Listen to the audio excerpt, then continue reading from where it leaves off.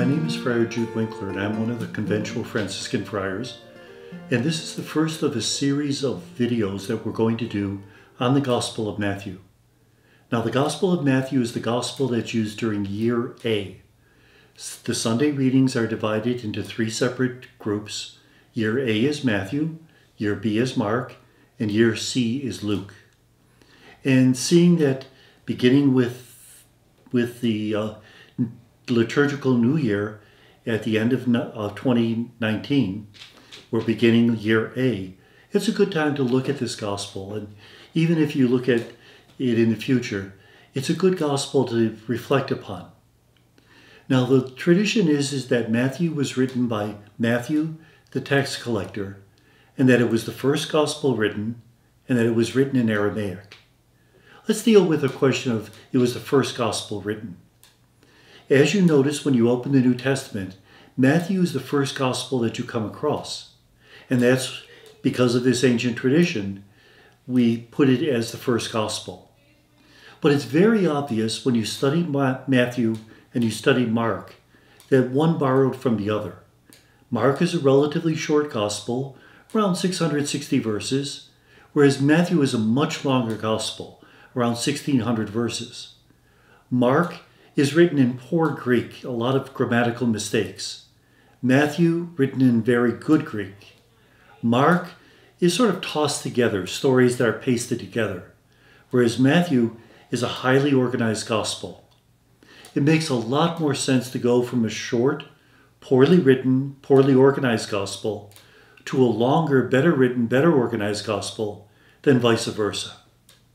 Furthermore, the tradition said that Matthew was written in Aramaic, and yet the Gospel of Matthew that we now have was clearly written in Greek. The reason we know that is that there's word plays that only work in Greek. So we now believe that while Matthew, the tax collector, might have contributed to this gospel, there was a second author who came along later on and completed the gospel. Who was that second author? We really don't know, but Matthew's Gospel has a lot of quotations from the Old Testament and treats the Old Testament law with sacred respect. Given that, we suspect that the author of the Gospel of Matthew, the second author, might have been a converted Pharisee. Remember, the Pharisees were very rigorous in their observance of the law. They knew the Old Testament by heart. So we suspect that somebody came along later on possibly around 85 AD, took what Matthew the Apostle had written, probably in Aramaic, and expanded it. How much did Matthew the Apostle actually write? Probably only about 350 verses, whereas the rest of it, 1250 verses, was written by the second author or gathered by him from his various sources. Now, why did he write the Gospel? He wrote the gospel in response to a crisis in the community. Up to 70 AD, Christians believed that they were part of the Jewish body. They continued to go to the synagogues, the temples, and although there were local difficulties, in general, Christians considered themselves to be Jews. Jews who believed that Jesus was the Messiah, but nevertheless Jews. In 70 AD, the Romans destroyed the temple in Jerusalem. And once the temple was destroyed, the focal point for Judaism disappeared. The Jewish rabbis realized that they had to redefine what it meant to be a Jew. So they met in a small town near called Jamnia, and they came up with three major decisions. Decision number one, they threw out the old translation of the Hebrew Bible in Greek, called the Septuagint. The reason they threw it out is that Christians were using it. Decision number two, they decreed that only those books written in Hebrew or Aramaic would be considered part of their Bible. And that excludes books like Wisdom, Sirach, Tobit, etc. Those are books that are contained in the Catholic and Orthodox Bible, but are not contained in the Protestant Bible. Because when Martin Luther came along, he accepted the rabbi's definition of the books contained in the Old Testament which is kind of odd because the church had used those books for 1500 years. And in fact, Jesus himself quotes from them. It's odd that Martin Luther would exclude them, but he did that. And then the third decision that the rabbis made, sometime around 80 AD, was to exclude Christians from the synagogue. They wrote a prayer of the faithful. Their prayer of the faithful was called the 18 Benedictions, and the prayer went more or less May heretics die immediately, may Christians burn in hell forever, we pray to the Lord. Not very ecumenical. Well, if you were suspected of being a Christian, you were asked to say that prayer in front of the synagogue. And if you refused, if you even stuttered, then you were kicked out of the synagogue. Christians were kicked out of the synagogue. They were told that they were going to hell, and being kicked out of the synagogue meant that they were no longer Jews. The Jewish people were able to worship freely in the Roman Empire. If you're no longer a Jew, you weren't able to, and you faced martyrdom. Christian people face martyrdom and shunning in this life and damnation in the next.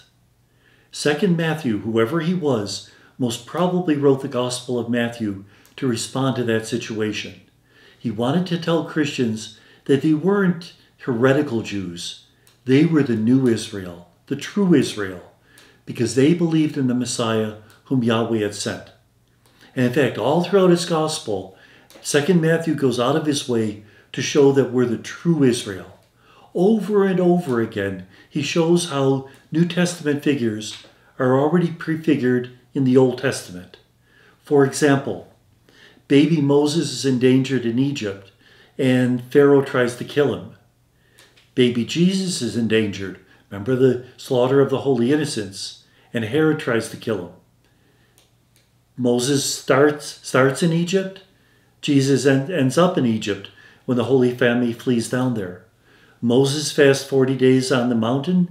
Jesus fasts 40 days in the desert. Moses receives the law of Israel on the mountain. Jesus gives the new law, new law for the new Israel in the Sermon on the Mount. So over and over again, we see that Jesus is the fulfillment of the promises of the Old Testament. That's why over and over again in the Gospel, we hear quotations from the Old Testament, which by itself is another reason why we don't believe that Matthew the tax collector wrote all of this, because tax collecting was an unclean profession. You couldn't even study the law. How would Matthew know all these quotations from the Old Testament? So, all throughout this year, we're going to be looking at the Gospel of Matthew, a very Jewish gospel, a gospel that shows that Jesus is the fulfillment of all the promises Yahweh had ever made. It'll be an interesting journey because it presents a Jesus who is not quite the Jesus of Luke's gospel, Jesus the social worker, Jesus the compassionate man, or of Mark, Jesus who's in a rush to proclaim his message, or in John, Jesus who's clearly divine. In the Gospel of Matthew, Jesus is the Jewish sage. He's the rabbi who's presenting a new law for the new Israel. In fact, Matthew, being a good rabbi, collected his material very carefully. And so he has all of Jesus' teachings in one section and then his action in another. Then he goes back to teaching and then action. How many sections of teaching does Matthew present in his gospel? Five sections, just like the Pentateuch, the first five books of the Bible. This is a new Pentateuch, a new Torah for the new Israel. And may God bless us.